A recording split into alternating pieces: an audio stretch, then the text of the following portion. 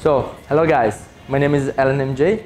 Um, today I want to present you one of my favorite techniques for freehand balayage.